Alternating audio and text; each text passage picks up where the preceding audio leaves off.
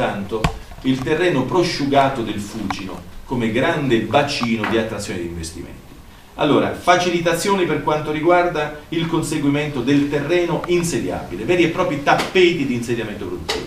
Secondo, fare in modo che sia possibile inanellare pacchetti tecnologici e pacchetti formativi che, faccia, che facciano sì che l'imprenditore si senta davvero quasi coccolato affinché in Abruzzo si senta lui cercato, preferito, facilitato.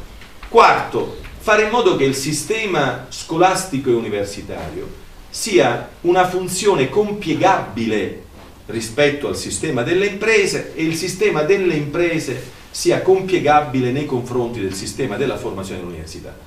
Fin qui lo trovate scritto, lo sentite dire. Entriamo nel merito, occupandoci anche per un attimo di politiche attive del lavoro. Si è sempre sostenuto che un imprenditore solo quando ha nuova committenza orienta lo sguardo su nuova forza lavoro da impiegare. Guardate che non è così. Guardate che può accadere che un'impresa, ponendo gli occhi giusti sulla giusta potenzialità di forza lavoro, poi a valle può accadere anche che trovi nuova committenza, nuovo contratto di lavoro. E per fare questo che c'è bisogno di attivare? C'è bisogno di fare in modo che lo stage e il tirocinio siano opportunità su misura di tutti. Oggi lo stage e il tirocinio sono opportunità su misure, diciamo così, di famiglie molto dotate sul piano relazionale. E poi c'è la componente dotazione di bravura di quella risorsa umana. Potrei anche andare oltre. Io ho lavorato per un periodo significativo della mia vita nel gabinetto di un ministro che non era assolutamente né casuale né improvvisato. Noi dobbiamo fare in modo che il tirocinio e lo stage siano un'opportunità orizzontale della giovane forza lavoro potenziale. E per fare questo significa che le norme di competenza delle regioni devono completare e affinare la dotazione normativa nazionale sul punto, facendo in modo che si determini l'innesto tra la giovanile forza lavoro, ma anche la non giovanile forza lavoro e l'impresa. Su questo punto di contatto, che è lo stage e il tirocinio, perché un colloquio conoscitivo di 13 minuti non rende possibile la conoscenza di niente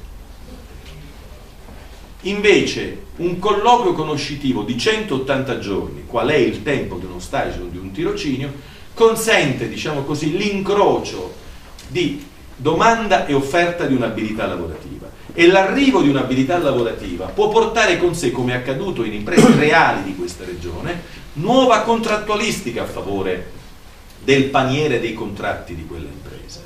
E su questo io scomodo la categoria della politica della politica nel senso che produca norme, che produca procedimenti, che produca irrobustimenti nel paniere delle condizioni di attrazione.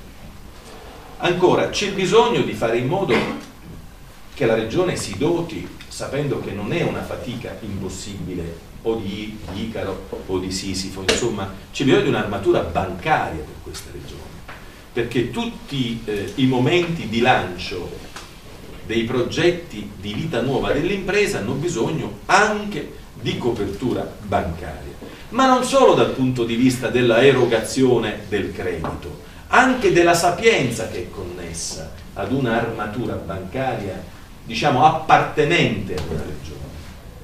Tutte le nuove strumentazioni di, eh, diciamo, di resa competitiva di un territorio oggi richiede investimenti all'insegna del project financing o di modalità innovative di coniugazione dell'approvvigionamento della risorsa finanziaria e di realizzazione infrastrutturale. Se manca un player importante territoriale per dimensioni, per attaccamento, per disponibilità di cervello decisionale, lettore e progettuale sul territorio regionale, molto di quello che si può fare non si fa e non si fa, e se anche si facesse, nei tempi in cui ci serve. Per cui c'è bisogno anche di mobilitare questo a favore di questa regione, c'è bisogno anche di fare in modo che ricominci nei territori del mezzogiorno d'Italia a contare al pari della risorsa finanziaria la risorsa potere, al pari della risorsa finanziaria. C'è una norma che è sfuggita in più perché ormai siamo vittime di un cantiere di innovazioni normative che naturalmente o non ci si riesce a ritracciare il bandolo della matassa o addirittura si arriva a ritenere che sono norme non vigenti perché sono talmente copiose le nuove introduzioni normative che si può pensare, diciamo così, quasi fanciullescamente o che non siano ancora vigenti o che non possano essere vere. C'è una norma del decreto sviluppo che concepisce le procedure sperimentali della pubblica amministrazione. Guardate, io con le multinazionali ci parlo perché mi incuriosiscono, perché mi appassionano, perché possono arrivare eh, quote di risposte al nostro bisogno di sviluppo e di crescita delle multinazionali.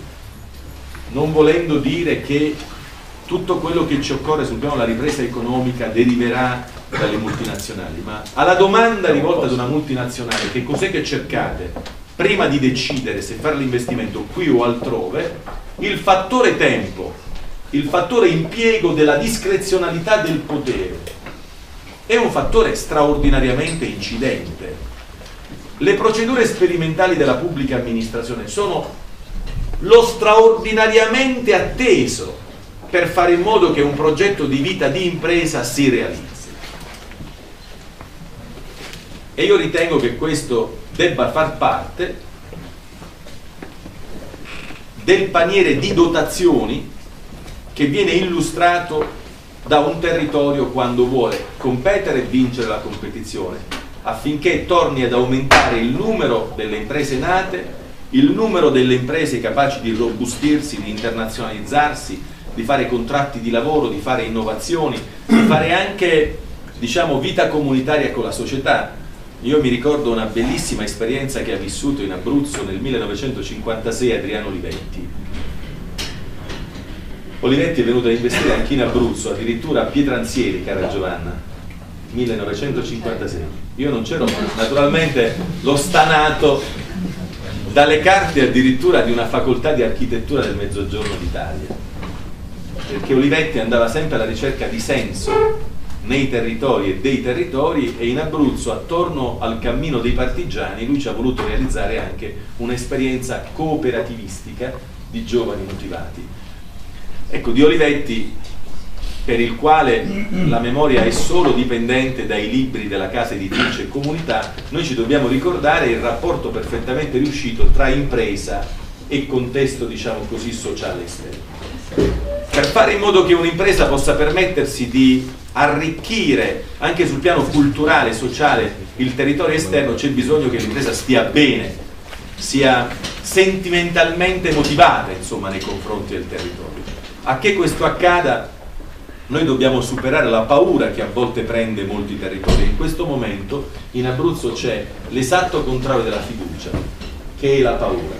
E la paura si riesce a superare se si è disponibili a utilizzare per intero la competenza di cui si dispone, per intero, alla luce anche della grande quantità di competenze che sta riguardando il livello di governo della regione.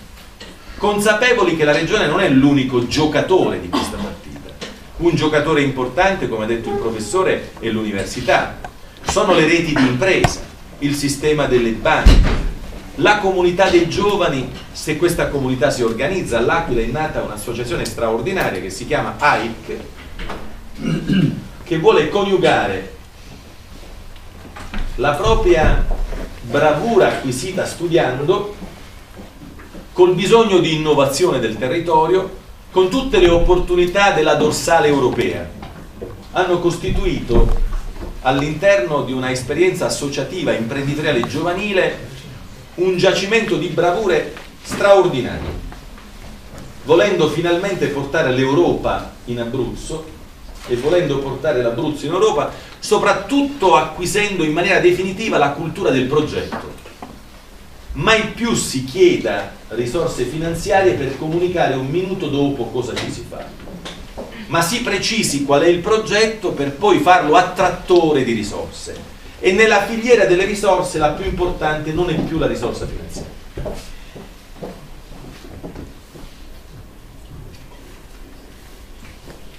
Io ho molto a cuore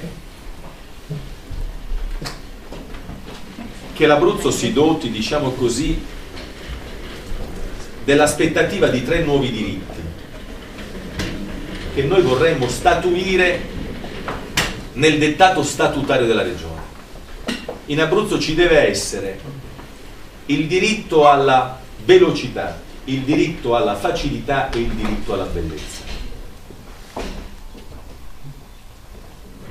Quel sindaco che io ho citato prima, che poi è stato anche presidente della regione della Catalogna, Pasquale Maragall, espressione di un riuscito partito socialista del lavoro catalano,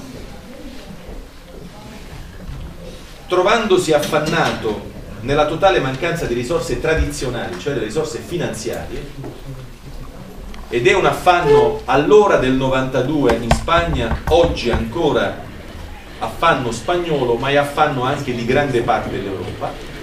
Lui, aiutato dal preside della facoltà di giurisprudenza di Madrid, si è messo a problematizzare la forza della norma. Come potere utilizzare la norma e la forza normativa per ovviare rispetto alla mancanza della risorsa finanziaria. Innanzitutto chiamò a raccolta tutta la comunità degli imprenditori della sua regione, spartendo i doveri, facendo in modo che ci fosse un'alleanza rispetto alla responsabilità. L'appuntamento era quello, un appuntamento sportivo internazionale, per il quale non ce l'avrebbe mai potuta fare con una reazione di tipo tradizionale la comunità catalana Preso atto di questo, cominciamo a lavorare sulla norma. Come fare in modo, insomma, che si potesse trovare, rintracciare un sostituto della risorsa finanziaria. E lì si coniugò la flessibilità della procedura tradizionale. Una procedura tra eh, decisionale tradizionale che desse luogo invece ad una procedura decisionale flessibile su misura delle caratteristiche del progetto delle imprese. La riqualificazione delle principali città della Catalogna al tempo delle Olimpiadi si è potuta fare grazie ad un patto strettissimo di responsabilità tra potere pubblico e vitalità privata. Entrò in campo una risorsa straordinariamente nuova, la risorsa tempo. Lungo l'asticella del tempo stabilirono il patto, quei pezzi espressivi di comunità. Io credo sulla risorsa potere, sulla risorsa tempo, sulla risorsa velocità, sulla risorsa facilità, noi dobbiamo costruire, diciamo, il domani di questa regione. In Abruzzo abbiamo un solo aeroporto, per esempio. Una comunità di imprenditori dello Yemen. L'Abruzzo ha la fortuna che l'ambasciatore eh, titolare presso eh, lo Yemen dell'Italia, la Repubblica Italiana, è un abruzzese, si chiama Luciano Galli e lui si fece carico eh, di accompagnare una comunità importante di eh, imprenditori dello Yemen in Abruzzo perché volevano investire sul, per l'aeroporto di Pescara. Ad una lettera formale di dichiarazione di disponibilità diciamo, la figura competente a rispondere rispose 11 mesi dopo, dicendo siamo interessati. È chiaro che eh, quella risposta conteneva un disinteresse, perché scrivere 11 mesi dopo che si è interessati equivale a dire che c'era disinteresse. Oppure si è descritta involontariamente una inettitudine nell'utilizzo della responsabilità di cui si dispone. Ma tutti e due sono di una gravità inaudita, soprattutto se c'è la contezza della delicatezza del momento che vive questa regione.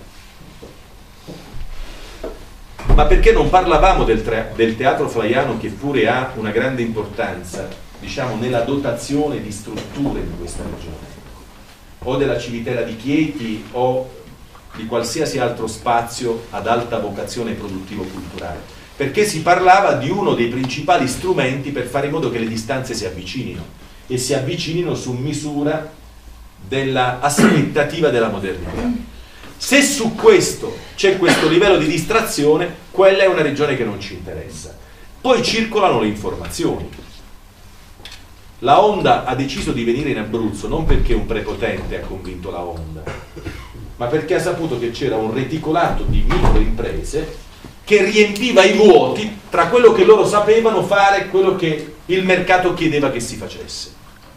Le voci hanno determinato l'attrattiva di quell'insediamento, le voci. E le voci sono grande parte di un'opinione favorevole che si mobilita alla condizione che ci sia la capacità di precisare che in quel sito territoriale, nello spazio europeo, un progetto di vita dell'impresa viene riconosciuto come un progetto fondamentale di sviluppo per quella comunità. Io mi ricordo come è venuta in Abruzzo la Texas Instruments di Avezzano. Noi vincemmo una, una competizione mondiale.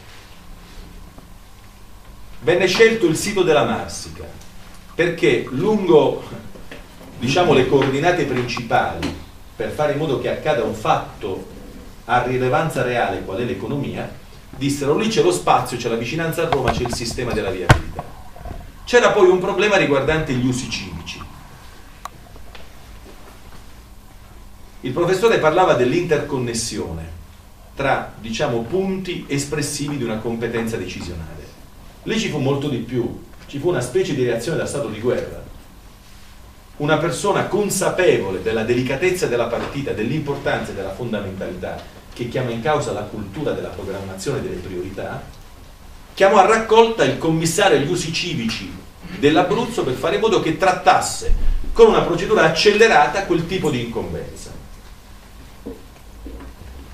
Quello che sto descrivendo io non è la declaratoria dell'abilità di uno solo, perché non sarebbe questo né oggetto di curiosità all'interno di un'università, né sarebbe l'indicazione di una soluzione, diciamo così, di politiche. Noi dobbiamo ristabilire la vigenza della cultura della programmazione, perché non è vero che non si può fare nulla, non è vero che se c'è una specie di bonomia del dio mercato allora le cose si aggiustano. C'è invece la necessità possibilità che il potere ritrovi il suo cammino, il suo sentiero e precisi esattamente come reagire nei confronti degli impulsi della società. Sapendo che prima di tutto occorrono politiche di contesto. In Abruzzo abbiamo in questo momento due pratiche accese col Ministero dello Sviluppo Economico e con l'Europa per quanto riguarda le zone franche urbane. Una che colpisce l'Aquila sanzionandola positivamente e una che colpisce Pescara sanzionandola positivamente, dove la sanzione è il riconoscimento. Però tutte e due si trovano al 95 minuto, insomma. Hanno superato abbondantemente il tempo della partita e manca il niente finale per fare in modo che questo venga definitivamente validato e riconosciuto vigente. E si tratta questo tipo di procedimento come se fosse l'ultimo degli elementi di dotazione di un sistema regione. Io ribadisco che l'incentivo fiscale, la zona franca dal punto di vista fiscale, non è l'elemento decisore, ma è un elemento che contribuisce a ripristinare la fiducia, il fatto cioè che c'è il contrario del disinteresse in un territorio.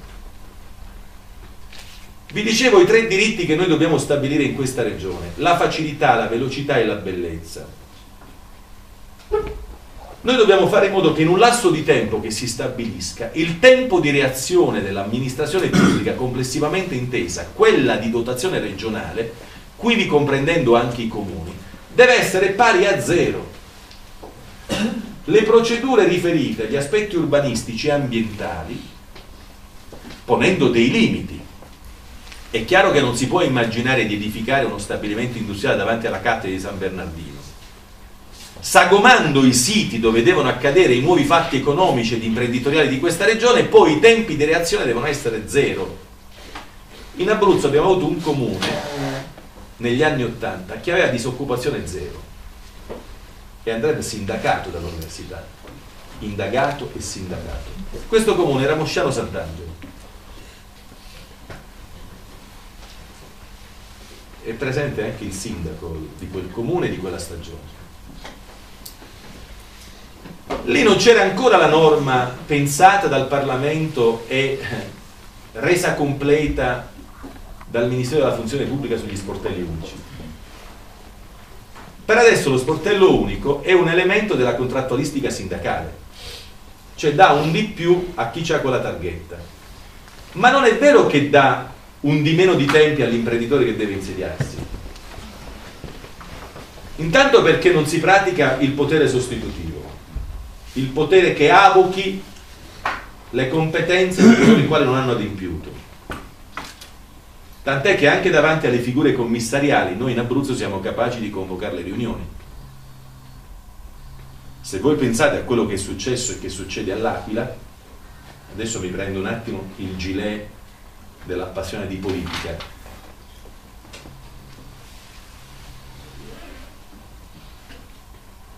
Ma è possibile che noi dobbiamo essere invasi, scusatemi, da architetti del territorio, dal punto di vista dei poteri commissariali. È possibile immaginare figure che abbiano il concepimento del procedimento snello e sollecito e dell'assunzione di responsabilità.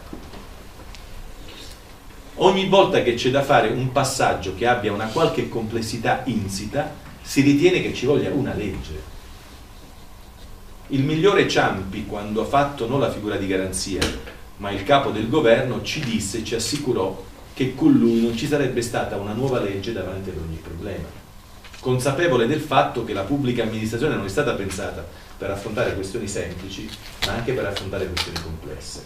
Anche lì quello che noi abbiamo pagato è la totale assenza di cultura, diciamo, delle priorità. Allora, la connessione intersettoriale è una connessione che non si attiva poiché non c'è l'esatta avvertenza della gravità della situazione.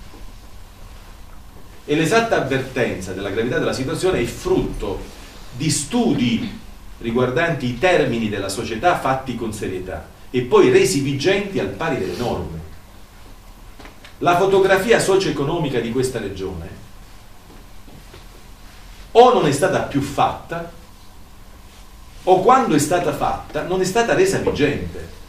Tant'è che si è creata, diciamo così, una duplicità inconciliabile tra la fotografia descrittiva dei numeri preoccupanti della società e dell'economia di questa regione e poi l'impiego dei poteri decisionali. Per farmi capire dai ragazzi che sono presenti, questa è una regione che ha avuto il libro bianco di Cazzaniga sulle incompiute e sugli edifici pericolanti tra questi edifici pericolanti e sulle incompiute ci stava anche la prefettura dell'Aquila, libro bianco di Calzanica fatto nel 93. Quel libro doveva informare di sé gli investimenti del sistema regione sulla messa in sicurezza degli edifici. Quel libro ha cristallizzato una realtà, un quadro da tenere in un salotto e poi gli investimenti hanno seguito un altro cammino. Questo non è che si ovvia con una norma che fa frattini sul codice di comportamento dei funzionari o che lo fa Patroni Griffi. Questo lo si ovvia facendo quello che il rettore Lazzati chiamava la preghiera laica, cioè ripetendo a ripetizione quali sono le cose che valgono, creando una condizione di cultura istituzionale e di cultura della programmazione. Il professore viene da un filone sul tema della programmazione economica che io rispetto e mi auguro che contamini di sé tutta la classe dirigente abruzzese, ma ce n'è un altro di filone più temperato che però insomma, pone la centralità e il rispetto nei confronti della programmazione, che è quello di Derita e del primo CNEL, diciamo, e dei vasi comunicanti tra espressioni vitali della comunità. A quel livello lì non sarebbe accaduto, diciamo, le separatezze, non sarebbe accaduto quello che è accaduto. Cari universitari iscritti ai corsi che vi hanno visti convocati per questa diciamo, esperienza, mi permetto di giudicarla seminariale. L'Abruzzo si trova adesso con un posizionamento di risorse finanziarie irripetibile per i prossimi dieci anni di 900 milioni di euro. Questa dotazione finanziaria per ogni anno che rimane ferma perde l'8% di capacità realizzativa. E questo non è un fatto che richiede il ragioniere generale dello Stato che ce lo dica. La mobilitazione di questa risorsa interviene, accade, genera cantieri che sporchino le tute degli operai di cemento, nella misura in cui si sappiano esattamente quali sono gli obiettivi, sia delle politiche di contesto, sia delle politiche puntuali destinate alla vita delle singole imprese. Io mi auguro che con l'università e soprattutto con questa università, che la Regione Abruzzo si possa dotare di un paniere di conoscenza viva dei suoli del territorio, dei mondi vitali del territorio e poi delle singole imprese che hanno progetti precisi di ulteriore vita. In via Molise esiste uno scantinato dove sono depositati le candidature degli imprenditori abruzzesi per avere i fondi della 488. Io la prima cosa che farò mi andrò a prendere quei progetti che sono un po' datati, però me li vado a prendere per capire qual è la dorsale di volontà di investimento che caratterizza la struttura economica di questa regione. E poi vediamo quali di quelle idee hanno ancora un'attualità, poiché oggi non c'è, per la paura che ha preso il sopravvento, un sito dove è depositato il numero di coloro i quali ha intenzione di investire, cioè di rischiare, cioè di fare la più grande delle opere collettive. E la seconda cosa che mi permetterò di fare sarà di chiedere alle università fatemi conoscere tutti i dottori di ricerca. Questa è una delle più grandi omissioni che fa l'apparato dei decisori pubblici. Cioè noi abbiamo una struttura di intelligenza che è vicinissima dall'essere una intelligenza operativa, che è fatta di conoscenza, di metodo di lavoro, di consapevolezza di questioni emergenziali anche, e anche di grande capacità di liberazione di risorse, di potenzialità, e sta lì, in una torre, forse a legittimare carriere filiformi personali. Forse. Forse. Allora, i dottori di ricerca, anche per il lavoro che hanno già fatto, sono interessati. E poi per il lavoro che possono fare, perché in Abruzzo c'è bisogno di innovazione di prodotto e di innovazione di processo, ma anche dei processi decisionali. C'è un signore, funzionario del Partito Socialista del Lavoro catalano, ha concepito i contratti di programma, i contratti d'area, gli accordi di programma, i patti territoriali. Lui lo ha concepito, lui. Lui che poi è diventato presidente del Comitato delle Regioni e a cascata, diciamo, animò una riflessione giuridica, culturale in tutte le università italiane. E non c'è stata nessuna pagina di patologia neanche giudiziaria che si è attivata in Catalogna. E perché, diciamo, non organizzare eh, una condizione di maturità di coltivazione per cui a ripetizione accada dell'altro su questo fronte? Si parla tanto per esempio di innovazioni partecipative ai processi decisionali. Le librerie, quelle private e pubbliche, sono piene di stimoli affinché noi ci riaccorgiamo che ci dobbiamo porre il tema dei beni comuni. Insomma, a me piacerebbe declinare con una università che cosa sono i beni comuni, come ci possono aiutare i beni comuni, come ci possono garantire. Io una riflessione personale l'ho fatta e mi piacerebbe sottoporvela ma sempre con una chiave, diciamo così, di registrazione economica positiva e non di logoramento, ma comunque di registrazione di incasso economico, di questa ulteriore riflessione anche scientifica su quelli che possono e devono essere i beni comuni di questa regione. È immaginabile, per esempio, che il luogo dove si è concepito il prosciugamento del Fucino sia nella piena disponibilità del dirigente della regione Macera, che è un signore che il 27 del mese meritoriamente è contrattualizzato con la regione, ma quel bene è molto di più di un bene che è un asset che può essere cartolarizzato, perché c'è tutta la storia di un pezzo di questa comunità. Quindi ha un valore in più.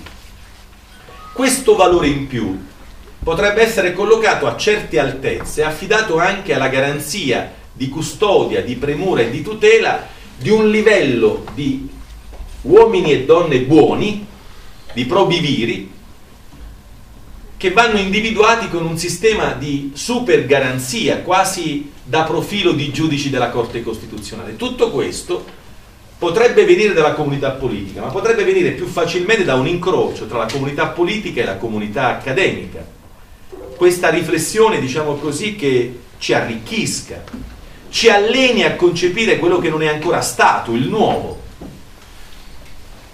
Facevamo una riflessione con alcuni, diciamo, addetti alla vicenda politica, che è una vicenda preliminare rispetto a quella delle decisioni di competenza delle istituzioni. Mi piacerebbe per esempio che noi ritrovassimo quali sono tutti i beni possibili comuni da rendere indisponibili rispetto all'azione quotidiana amministrativa. Così come mi piacerebbe immaginare come rendere certo un arricchimento del processo partecipativo. Moltitudini di persone che possono partecipare, per esempio, al processo deliberativo regionale o di competenza della Giunta o del Consiglio. E fare in modo poi che il portavoce di una moltitudine di 10.000 persone partecipi per quel giorno quale illustratore alla seduta della giunta del Consiglio. Anche questo può rendere interessante, preferibile, preferito un sito per investimenti economici di un certo tipo. Perché il tema della qualità della vita è un tema che interessa le proprietà delle grandi centrali di investimento economico. La Sarnovares di Atlanta del quale, se si potesse dire, il vice proprietario viene spesso in Abruzzo, alla nostra domanda, alla mia domanda, ma voi che cos'è che prendete in esame? Prima di dire sì o no.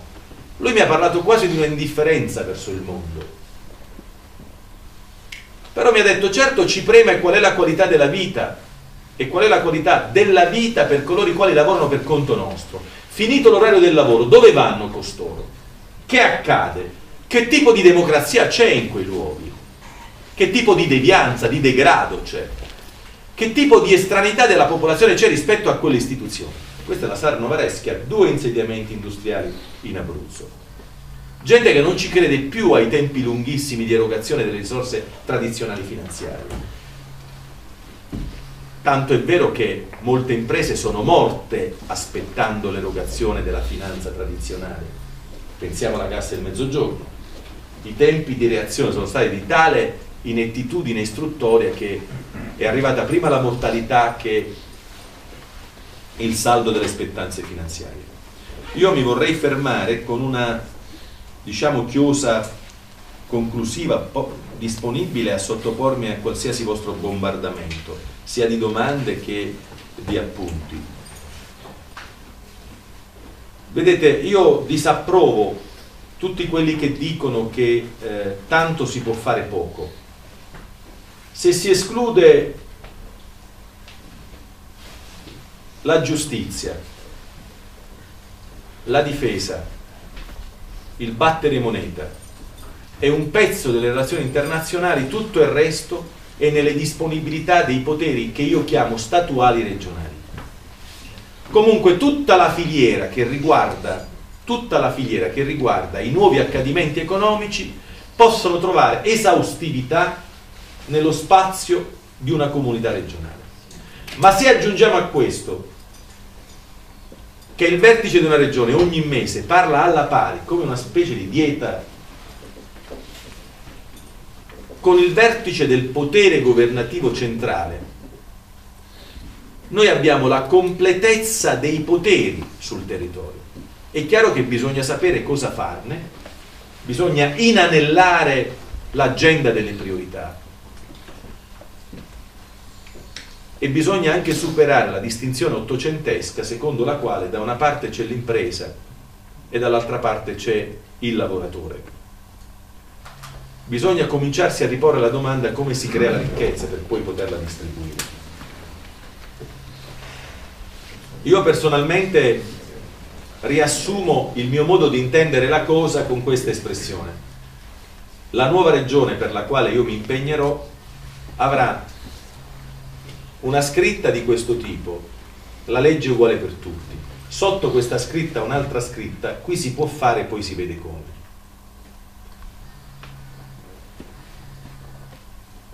Rendendo il primo bersaglio dell'azione pubblica la natalità imprenditoriale la Regione Marche ha 220.000 imprese.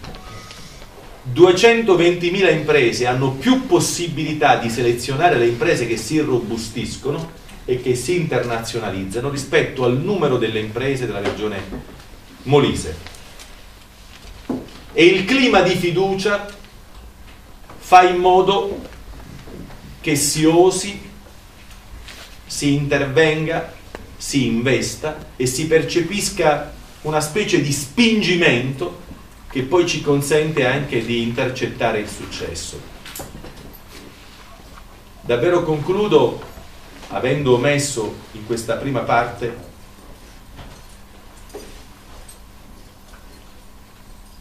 alle 11 di oggi ho ricevuto una bella telefonata dall'ingegner Mauro Moretti che è diciamo, il decisore massimo della holding dello Stato delle ferrovie italiane perché gli ho posto un problema che in Abruzzo noi abbiamo un primato che i consorsi industriali abruzzesi non sono connessi ai raccordi ferroviari Il professore parlava di interconnessioni negli spazi di lavoro della pubblica amministrazione e non solo. Noi abbiamo anche un difetto di interconnessione, diciamo, delle strutture che devono consentire la connessione al mondo. Il prodotto, dopo che è stato posizionato, va collocato nel mondo.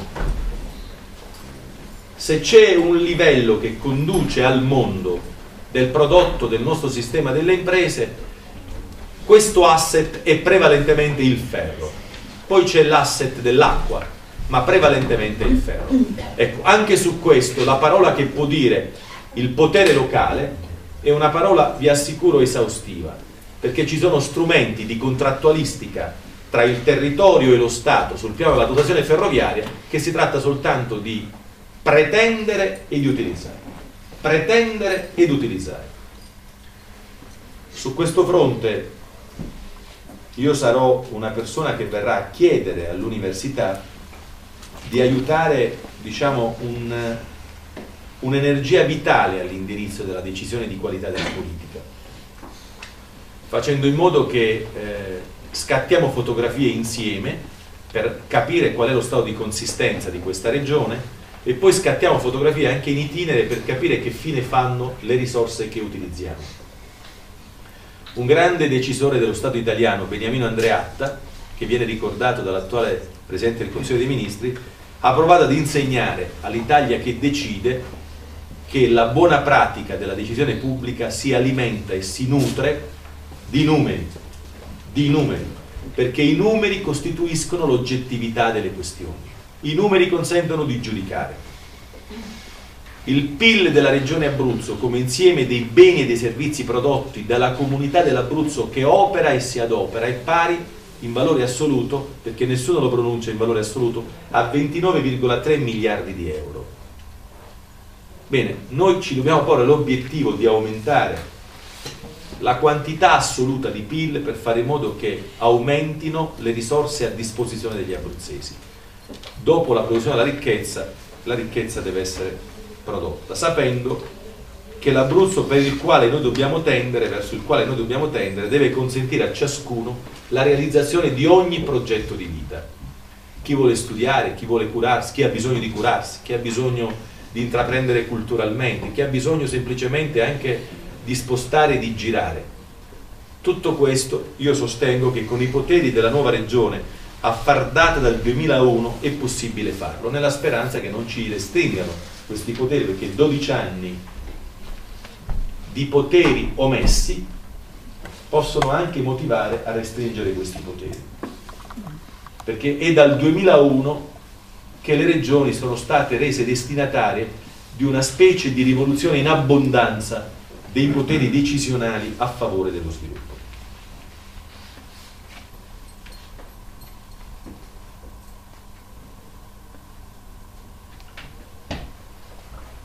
criticate tutto quello che io ho sostenuto perché prenderò appunto.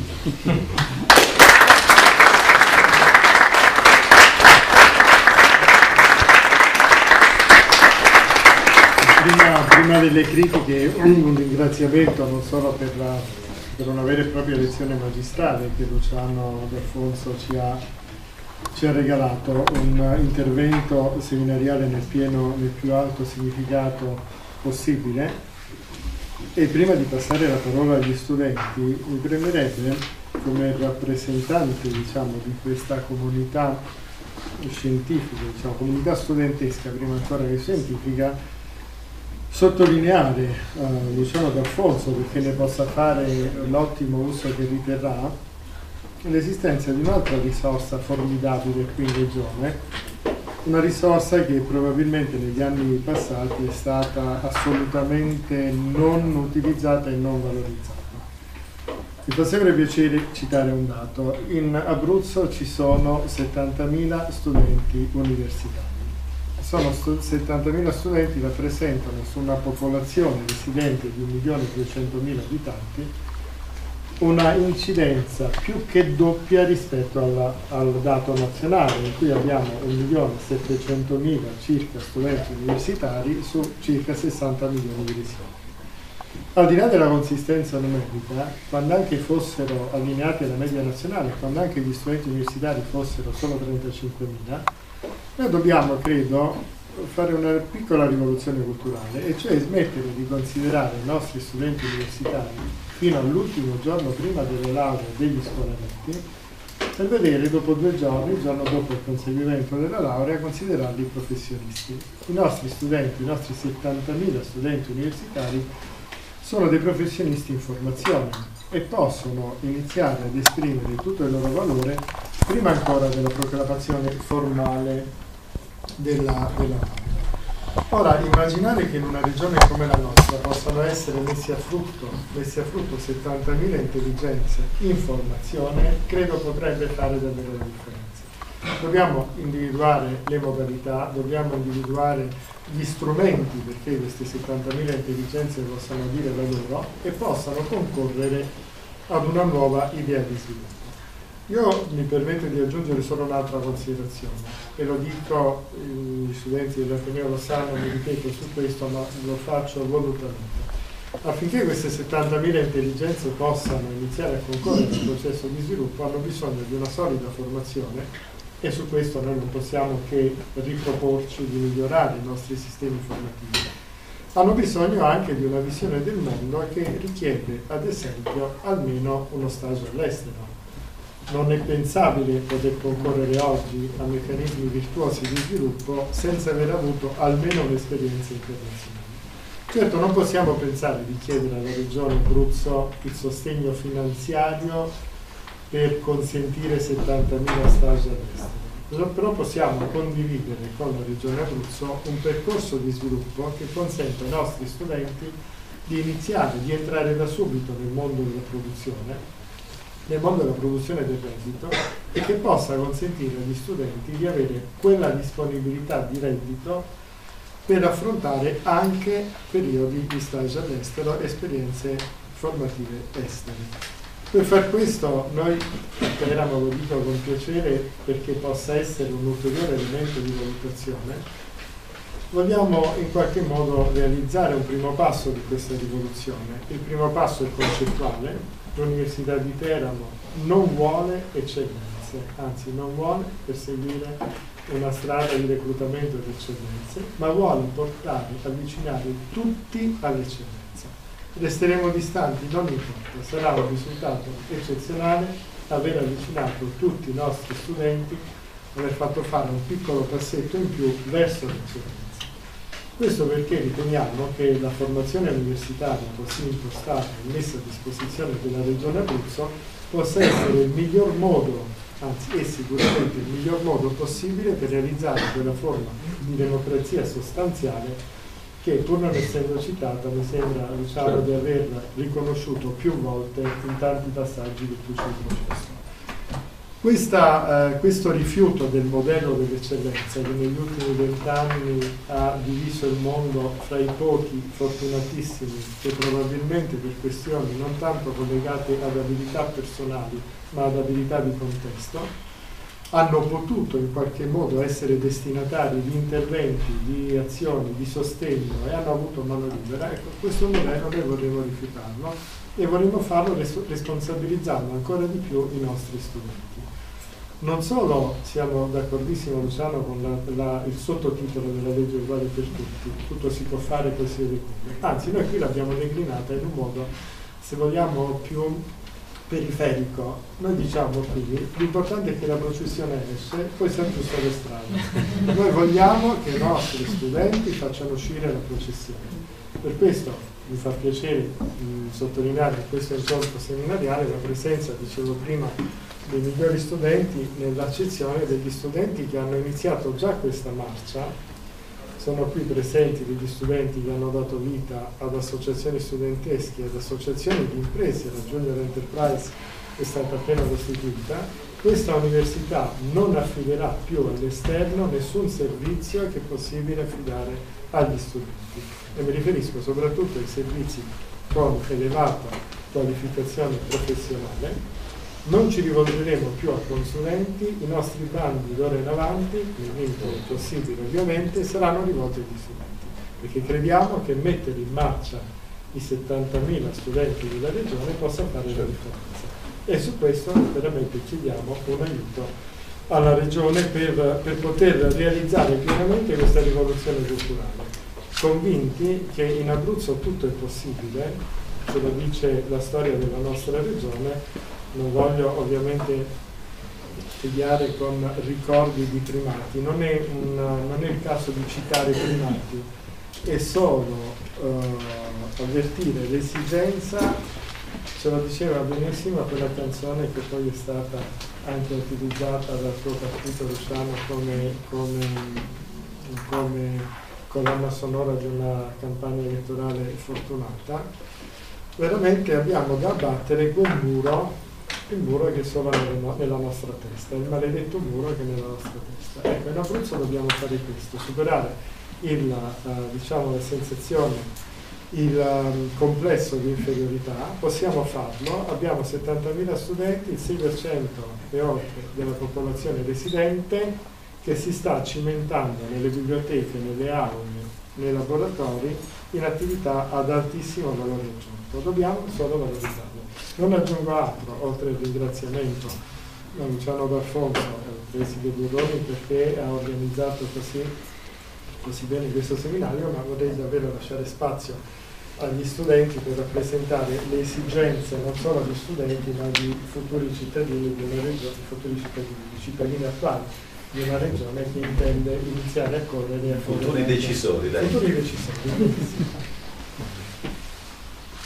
Presidente, chiunque che voglia rompere. Siate riguardosi, eh? dissacranti.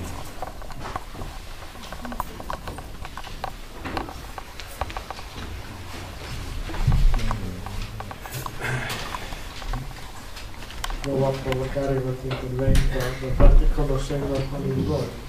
Volevo invitare anzitutto Atas che è il fondatore, il promotore della fondazione della Junior Enterprise che inizierà, inizierà già iniziato a lavorare per conto dell'università, ancora di più lo farà in seguito. Eh, ti chiederei di, di intervenire con una proposta su come poter aiutare queste associazioni studentesche a trasformarsi in imprese vere e proprie, c'è tutto il problema poi delle start-up di imprese innovative, degli spin-off. Io volevo proporre un problema sul eh, che fa da preludio diciamo, a, al fatto delle associazioni, ovvero della scelta dei ragazzi. Non sarebbe eh, meglio concedere a più ragazzi l'opportunità di accedere all'università, ma che poi all'interno dell'università ci sia una maggiore selezione?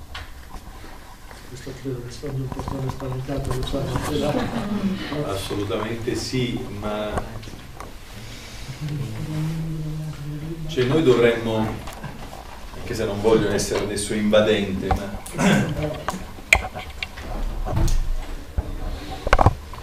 Senza ci fa piacere.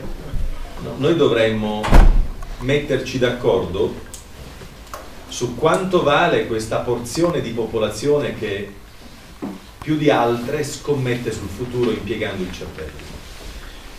Io non ho voluto sciorinare altri dati, questo è il dato più interessante del costituirci società, quelli che studiano all'università. Io poi nella mia mente ho un altro dato, quanti sono insomma quelli che per esempio fanno volontariato in questa regione, che è un'altra porzione di interesse e per la quale dovremo concepire qualcosa. Ma parlando all'università sono 61.000 i volontari di questa regione, quelli che regalano il proprio tempo agli altri, quelli che impiegano il proprio tempo stimolando il cervello per fare in modo che il futuro sia più amichevole, migliore, siete voi, non è una porzione qualsiasi di società cioè una porzione di avanguardia, che sarà capace anche di essere mittente di generosità a favore di tutto il complesso della comunità. Quattro ragazzi tra Silvi Marina, Città Sant'Angelo e Pineto hanno una società di logistica mondiale, fatturano 40 milioni di euro. Cioè io mi inginocchierei lì. Se il potere è riassumibile anche dal punto di vista fisico, io lo compiegherei il potere per fare in modo che diventi una funzione di ragazzi, quelli lì, e di tutti gli altri che possono fare come quelli. Se io penso che nel 1901 è arrivato uno stabilimento industriale da Bergamo che ha occupato 32 ettari di terreno, uccidendo di tumore un'intera zona della Val Pescara perché produce cemento, parlo di un insediamento di una grossa famiglia di industriali del nord. Questi ragazzi con 40 metri quadrati di spazio, 4 ragazzi fatturano 40 milioni, cioè la bandiera, bisogna organizzare la bandiera. E quello è il frutto della potenza esplosiva e liberatoria dell'impiego del cervello, un cervello però che si intriga di realtà, che si occupa della realtà. Ecco perché eh, la regione dovrà essere intelligentemente e accoglientemente generosa con le università, accorgersi chi studia, chi studia bene, chi progredisce, chi fa ricerca, chi fa dottorato.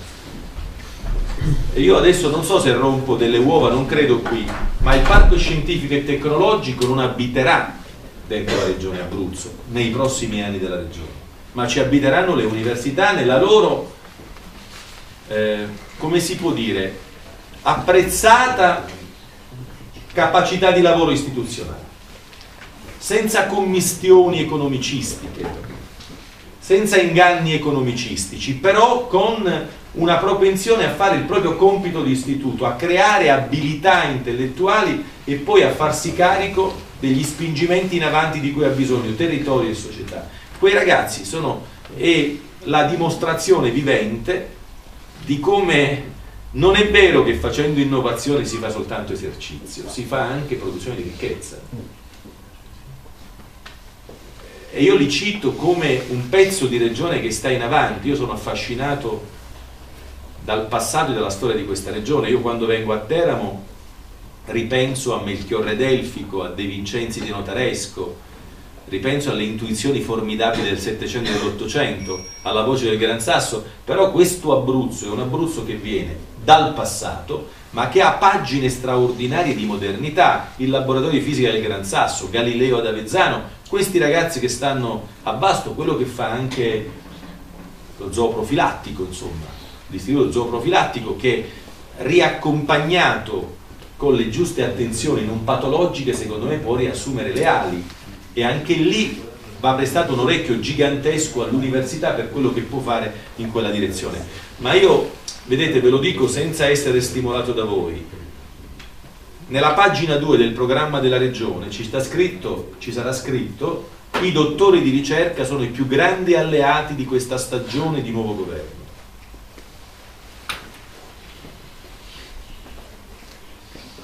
Ma proprio è, eh, è consustanziale alle necessità che io vedo. Una grande alleanza con chi la mattina sente la sveglia e investe del suo, gli imprenditori e poi una grande alleanza con chi impiega il cervello.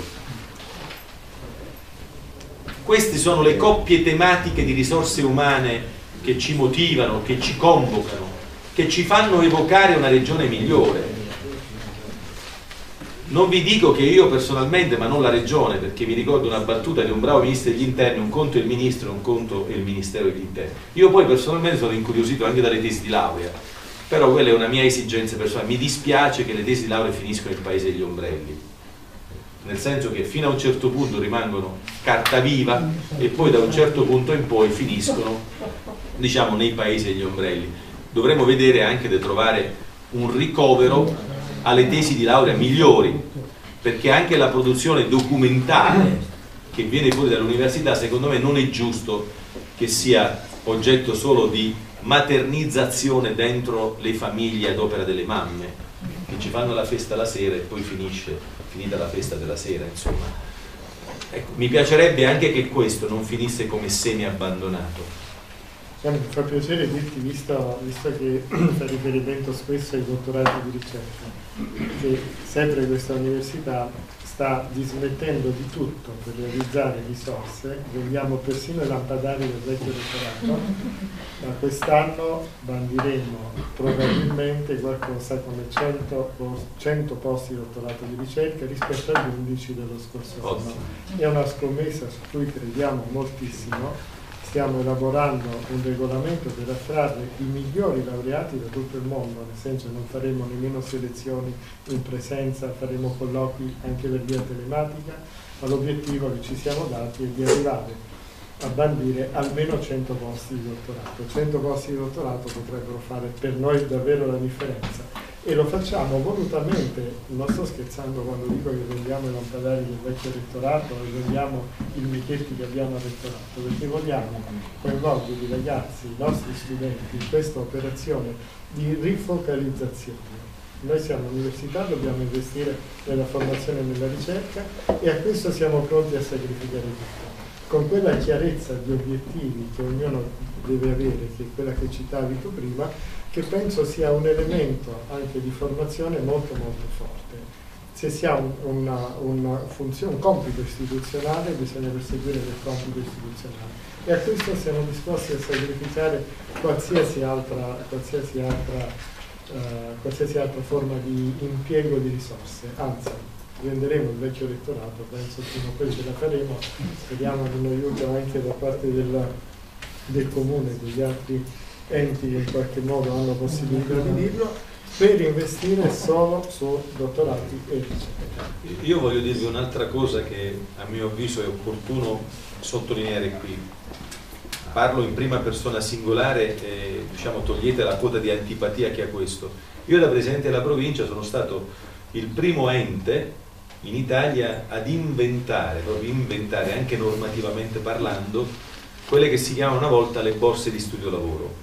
Era ministro del lavoro Bassolino, il suo capo del legislativo era Tommasone e lo andai a convincere della possibilità che nei cantieri attivati dall'ente provincia si dislocassero giovani, i migliori in uscita dal circuito formativo, per poter apprendere quella che non si può dire in pubblico, ma che per me immaginificamente è la migliore espressione, consente di imparare, diciamo, quasi la dorsale della persona nel sito del lavoro perché quando si fanno i colloqui la domanda micidiale e schiacciante è che esperienza hai? Per fare esperienza c'è bisogno di entrare nel circuito del lavoro, per andare nel circuito del lavoro c'è bisogno di fare esperienza. Allora noi rompemmo questa specie di infezione dicendo se ne fa carico per quello che può il pubblico potere negli spazi di attivazione economica e individuiamo una meccanica tutta libera, non statalizzata. I più bravi vengono segnalati alle imprese che realizzano contratti e le imprese per contratto sottoscritto hanno l'obbligo di prendersi per ogni 100 milioni di lire una borsa di studio lavoro. Dove voglio andare a parare? E anche questo è roba nuova, che non è vero, siccome non ci è ancora, non ci può essere dopo. Se ci impegniamo voi a perfezionare, noi ad intuire e poi a realizzare, si può fare. All'Aquila ci sono oggi realisticamente 2 miliardi di euro di lavori che devono essere fatti. 900 sono i milioni dei fondi FAS. Noi abbiamo una massa volumetrica in Abruzzo di provenienza esterna per 3, 3 miliardi di euro. 3 miliardi di euro sezionati in piccoli, diciamo, spazi di intrapresa formativa per colui il quale ha concluso la formazione teorica per fare in modo che apprenda i passi iniziali anche di forme pre contrattuali di applicazione lavorativa. Proprio per consentire la risposta alla domanda ma tu che esperienza hai? Probabilmente si pone in termini un po' differenti rispetto allo stage tradizionale o al tirocinio tradizionale. Ma sapete che uno dei problemi è anche la figura del tutor, cioè l'imprenditore che, ha, che fa le porte a scomparsa e quello ha 25 dipendenti e deve lavorare pure di notte, lui vede come un inciampo mettersi dentro l'azienda una figura. Io credo che il sito, cioè questa specie di immagine medievale della corte artigianale, è di per sé un bene, quel, quello spazio, quel campo elettromagnetico. Se mi dà la disponibilità ad entrarci dentro e a metterci un ragazzo che si presta a combinarsi con quelle persone che producono, il tutor secondo me può venire anche dalla comunità universitaria o da una comunità a cavallo con la comunità universitaria, si deve vedere, ma anche questo è un problema che va, diciamo, tematizzato e risolto. Io non ci credo alla norma che pubblicata sulla Gazzetta Ufficiale poi produca il dionisiaco prodotto. C'è bisogno poi di sperimentarlo nei suoi vuoti e organizzare i riempimenti dei vuoti. E questo è il di più che io vedo che altrove si è saputo fare. Il 16 di giugno verrà a pescare un signore per il quale io provo venerazione, un signore che le cose le fa davvero, insomma, un signore che eh, ha reso la sua città la più bella d'Italia, nonostante che le condizioni di partenza non erano esattamente democratiche. Parlo del sindaco di Salerno attuale ministro dei trasporti, noi vedremo che cosa farà lui dal punto di vista dei porti in Italia. Cioè lui si pone più volte la domanda, ma quello che ho fatto è esattamente quello che serve, è bastevole, che poi assomiglia alla domanda etica. Eh? È tutto quello che c'era da fare quello che ho fatto? La cultura della programmazione ha in sé anche un'eticità ho impiegato al meglio le risorse di cui disponevo? Cioè quando arriva quel fatidico 31 dicembre, tu non hai fatto tutto quello che dovevi fare, le risorse ti vanno quasi in perenzione. Cioè lì scatta, secondo me, una situazione giuridica che dovrebbe essere sanzionata penalmente. Quando c'è una condizione di allarme sociale tipo quello che c'è adesso. Allora, eh, io quando vedo un ragazzo che ha fatto bene all'università, e comincia a fare il giro delle sette chiese per provare qualche settimana di lavoro, beh, io penso che lì ci sia lo spazio per cominciare a concepire una forma di immoralità collettiva. Per cui bisogna davvero mettere nel tubo della produzione intellettuale tutto il massimo dell'immaginazione. Allora ci proviamo a pensare come fare pratiche innovative di avvicinamento tra il mondo della formazione teorica e il mondo della formazione applicativa, concreta, che è il luogo del lavoro? Coniugare e avvicinare questi due settori di vita reale, secondo me è uno dei compiti che abbiamo nel tempo nuovo dei doveri pubblici.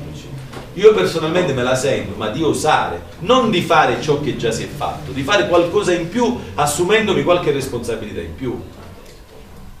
Eh, quando facciamo le borse di studio lavoro nei cantieri, l'INAIL avvertì quelle forme, quelle presenze come degli UFO pericolosi. Un bravissimo direttore regionale dell'ufficio del lavoro, il dottor Francesco Colacci, puntualmente indagato anche lui, assolto e benedetto, ci aiutò a concepire il procedimento amministrativo perché c'era un vuoto normativo e lui riempì quel vuoto normativo di una best practice Su questo mi piacerebbe coniugarmi con l'università. Tutto questo quantitativo di ragazzi che studia con il sorriso e raggiunge la lode, la stretta di mano, fa la tesi di laurea seriamente, si incrocia con esperienze ulteriori di ricerca tipo il dottorato o gli stadi precedenti, l'assegno, Ecco, io vorrei che questa gente conoscesse una non discontinuità della propria applicazione motivata, perché il ragazzo che fa ricerca è un ragazzo che ha una motivazione ulteriore. Quella motivazione ulteriore, secondo me, dislocata dentro ad un luogo dove si fanno procedimenti pubblici all'indirizzo della realizzazione dei diritti collettivi, è una garanzia. A me piacerebbe per esempio che tutte le istruttorie per i fondi FAS potessi avere anche l'utilizzo di una comunità di motivati intellettualmente, cioè di motivati capaci di rendersi determinanti. Io vorrei tanto che in questa regione si concepisse un modo nuovo di attrezzare la casa alle giovani coppie. Le giovani coppie negli anni 60, 70 e 80 disponevano di un bonus rilevante da parte dei genitori di provenienza. L'Europa, il patto di stabilità, lo svilimento di mercato hanno tolto i risparmi delle famiglie di provenienza. Come si può a fronte di questo concepire una modalità nuova di ausilio alle giovani coppie che si fanno casa? Potremmo immaginare un riuso delle case dei piccoli paesi. Provvederemo anche ad una ridislocazione della demografia in giro per l'Abruzzo. Potremmo fare anche questo. Poi si porrebbe il tema della trasportistica, di organizzare i trasporti. Ma eh, Giovanna, della sanità privata ci hanno pensato i magistrati ad occuparsene, dei trasporti fatti con stravaganza su gomma potremmo occuparcene in sede politica e dare un riordino, vedere quanto costa e quanto prodotto fa. Potremmo vedere un turone che scrisse di sanità c'è stato e scrisse con anticipo, naturalmente non senza avere retta da parte di nessuno. Senza che succeda la patologia giudiziaria, vediamo quanto costa il prodotto trasporto, spostamento in Abruzzo e quanta qualità c'è in questo prodotto. Però secondo me lì una riflessione va fatta, in termini fruttuosi, rinvenibili. Io la vorrei fare, io immagino la decisione pubblica così nutrita, così istruita, così anche convissuta, concordata, così verificabile, misurabile. E i ragazzi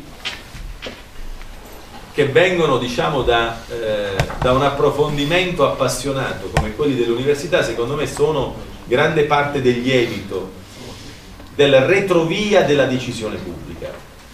Quando in Italia le cose si sono fatte è perché al Ministero del Bilancio ci stava un gruppo di persone che avevano passione civile, motivazione culturale, quasi motivazione politica.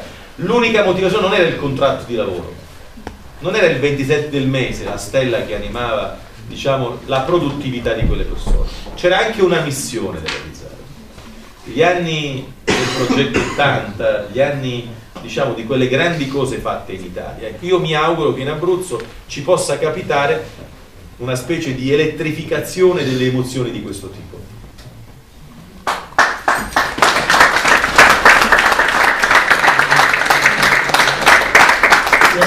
Devo un po' interrompere questa, questo seminario perché è assolutamente credo importante che Luciano D'Alfonso visiti il nostro nuovo polo scientifico perché vorrei far toccare con mano come nel giro di un paio di chilometri ci siano tre realtà che se messe insieme ci renderebbero unici nell'Europa centro meridionale e che purtroppo adesso sono ancora divise da una serie di steccati vorrei portarlo a visitare il nostro nuovo ospedale in Piano d'Accio, ovviamente non è ancora aperto l'ospedale, ma anche per vedere le prossimità con lo zooprofilattico e con l'istituto agrario è necessario che ci si veda ancora un po' in notturno, diciamo, sarebbe un'esperienza interessante come esperienza di vita, ma un po' meno, un po meno dominante per le potenzialità del polo. Per cui davvero con dispiacere, ma un dispiacere che direi mitigato dall'invito che mi sembra di poter rivolgere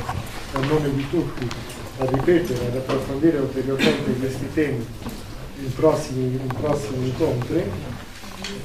Mi scuso con tutti per uh, provocare questa diciamo, interruzione anticipata dell'incontro, ma davvero ci terrei in modo particolare eh, a, illustrare quello che potrebbe essere un polo di eccellenza non più regionale ma davvero dell'intera Europa centro-meridionale che si potrebbe realizzare un qualcosa che non credo sia oggi disponibile in Italia certamente probabilmente anche in altri paesi per cui vi chiedo scusa per sottrarre questa sottrazione di, di, di Luciano D'Alfonso per questa interruzione ma ci ritroveremo in un prossimo appuntamento anche di qui a brevissimo. Mi fa piacere poter consegnare diciamo, questo, questo invito il 16 giugno sul Ponte del Mare.